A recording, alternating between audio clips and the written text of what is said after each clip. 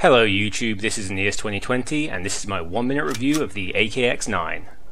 The AKX-9 is a pistol caliber rifle and is a collaboration between Definitive Arms and Atlantic Firearms. Chambered in 9mm, it is a compact and accurate package that is instantly familiar to anyone that has shot or owns an AK style rifle.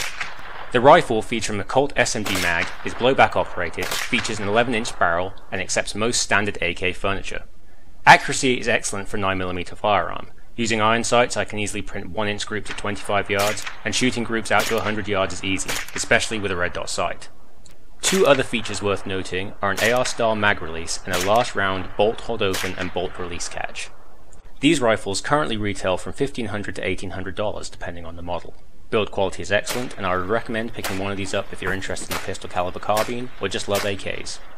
Thanks for watching, and see you guys next time.